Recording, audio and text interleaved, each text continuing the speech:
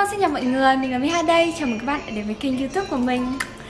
Thì đã một tháng rồi chúng mình mới được gặp lại nhau Và cũng kha khá sự thay đổi đã xảy ra. Bạn có thể nhìn thấy là cái tóc mình hiện tại nó đã có màu xanh. Thực ra ban đầu nó là màu xanh biển cơ Nhưng mà bây giờ nó pha dạng thành màu như này hơi nhu nhơ ấy. Một điều nữa là hàm răng của mình mới có một bé phụ kiện xinh xinh Như các bạn có thể thấy đây không dài dòng nữa thì cái chủ đề video ngày hôm nay sẽ nói về quá trình niềng răng của mình. Hy vọng là cái video này sẽ giúp ích một phần nào cho các bạn đã, đang và có ý định muốn niềng răng nhé để chia sẻ kỹ về cái quá trình niềng răng của mình thì mình đã đặt một cái Q&A trên Instagram để mọi người hỏi về chủ đề này và hầu hết các câu hỏi thì đều về chủ đề là niềng có đau không hay là tổng chi phí hết bao nhiêu. Ok, đầu tiên thì mình sẽ bắt đầu với phần chi phí. Mình nghĩ rất nhiều người đã băn khoăn rồi chăn trở không biết có nên niềng hay không. Một phần lớn là do cái phần chi phí này. Thì mình sẽ giới thiệu cho bạn những loại niềng răng mà mình biết.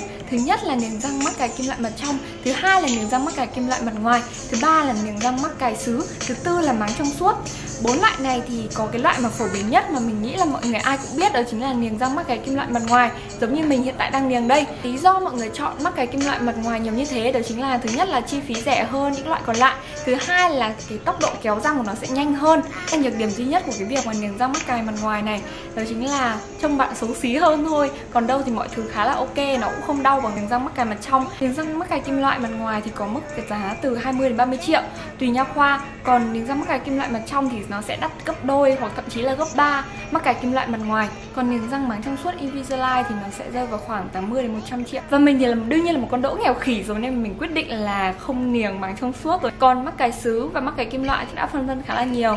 Nhưng mà sau khi tìm hiểu thì mình thấy cái việc mà mắc cài kim loại nó sẽ chạy răng nhanh hơn. Nên là mình đã quyết định là chọn cái mắc cài kim loại mặt ngoài này. Mình sẽ để hình minh họa ở đây để các bạn có thể hình dung rõ hơn về từng loại mắc cài nhé câu hỏi thứ hai mà mọi người hỏi nhiều nhất đó chính là niềng răng có đau không?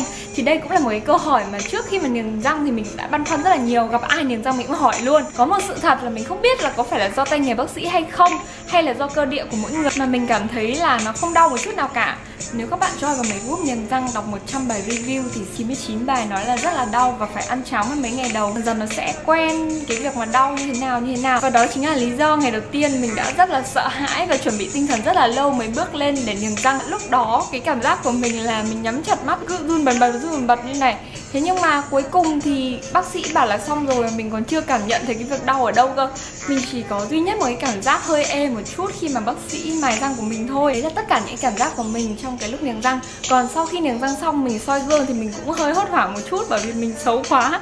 Trời ơi, kiểu, răng nó đen xì xì. Đến khi mà mình về nhà ăn bữa cơm đầu tiên thì cái cảm giác của mình là răng nó không còn là của mình nữa. Bởi vì mình không nhai được nhiều lắm, mình chỉ nhai được bằng một hàm thôi. Cảm tưởng như hai cái hàm nó không chạm vào nhau luôn ấy, nhưng mà cái khó chịu nhất có lẽ đó chính là cái việc mà thức ăn nó cứ dính đầy răng. Muốn đánh răng ngay lập tức. Trước đây răng bình thường chỉ cần dắt một miếng rau vào răng thôi, mình đã cảm thấy khó chịu, đúng không? Đây lại còn dắt một đống thức ăn cả hàm răng, nó cứ đầy thức ăn như thế nên là mình cảm giác hơi không quen. Nói chung không đau là tốt lắm rồi, mình cũng không kỳ vọng gì nhiều hơn. Muốn sinh thì phải chịu, đấy chính là cái giá phải trả câu hỏi thứ ba đó chính là tại sao mình lại phải niềng răng và răng mình gặp vấn đề gì? Thì đây là một cái câu hỏi mà cũng khá là nhiều người hỏi mình. Mình nghĩ là mọi người biết và mình cũng biết là trên khuôn mặt mình nó không có một cái gì đẹp đẽ cả mọi thứ nó đều nhạt nhòa. Tuy nhiên thì mình có một cái ưu điểm về khuôn mặt đó chính là nụ cười mình khá là tươi. Chắc hẳn đó chính là lý do mà mọi người nghĩ là răng mình không có vấn đề nhiều lắm mà tại sao lại phải niềng đúng không? Mình thì mình cảm thấy là răng mình không đến mức mà quá xấu không hô, không vẩu không khóc cắn lệch gì hết nhưng mà nó lại không đều, răng to, răng nhỏ ấy, nên là mình cảm thấy rất là tự ti những cái người mà người ta sinh gái đẹp trai ấy, đều là những người có cái nụ cười rất đẹp nhờ hàm răng. Để đi tới cái quyết định niềng răng này thì mình cũng đã mất một khoảng thời gian khá là lâu khoảng là một hai năm gì đó cứ phân vân rồi lại thôi. Thứ nhất là mình không có tiền thứ hai là mình cũng sợ đau nữa. Tuy nhiên thì đến khi mà mình cảm thấy là càng lớn cái ngoại hình nó càng ảnh hưởng đến nhiều công việc rồi kể cả bạn bè môi trường xung quanh nên là mình đã quyết định niềng răng như thế. Vậy nên các bạn ơi đừng bảo mình là răng đang đẹp tại sao đi niềng nữa? Không ai răng đang đẹp lại đi niềng đâu các bạn ơi. Thật sự đây buồn lắm luôn thì mới phải đi niềng câu hỏi tiếp theo thì về vệ sinh răng miệng.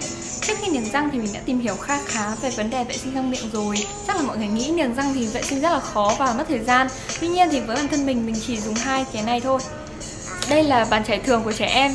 Các bạn có thể dùng bàn chải người lớn tùy nhưng mà bản thân mình thì mình, thích dùng trẻ em hơn. Từ trước khi mình niềng răng thì mình toàn dùng cái đánh răng của trẻ em rồi bởi vì mình cảm thấy là nó sẽ đi sâu được vào bên trong răng hơn là cái bàn chải người lớn thì nó sẽ dễ bị cọ sát vào phần lợi của mình. Sau khi mình đánh răng bằng bàn chải thường xong thì mình sẽ dùng cái máy tăm nước này của Iris. Chức năng của cái máy tăm nước này là giúp loại bỏ những cái phần thức ăn thừa nơi mà bàn chải đánh răng không đi được hết. Máy tăm nước của Iris này thì khá là dễ dùng khi mà có mức độ high low để mình tùy chỉnh. Thứ hai thì cái ờ, ở đây là cái que để bạn có thể lấy nước vào bên trong để nó phụt lên có rất là nhiều loại máy tăm nước khác nhau, tuy nhiên thì mình vẫn chọn Iris bởi vì mình cảm thấy là cái giá tiền mà mình bỏ ra phù hợp với cả chất lượng, mình nhận lại hơn nữa cái máy tăm nước này rất tiết kiệm vệ sinh. Khi mà nó có cho ba cái ống này để có thể thay dùng cho những người trong gia đình mình thì sẽ đỡ tốn tiền để mua nhiều máy khác nhau. Ngoài ra thì còn có cả cái để rửa mũi như thế này. Cái này thì rất là tốt và đặc biệt tiện lợi cho những bạn bị viêm xoang Thì nó sẽ sạch, làm sạch sâu hơn. Cái ưu điểm nữa của cái máy tăm nước này là nó cực kỳ nhẹ. Bạn có thể mang đi bất cứ đâu mà bạn muốn.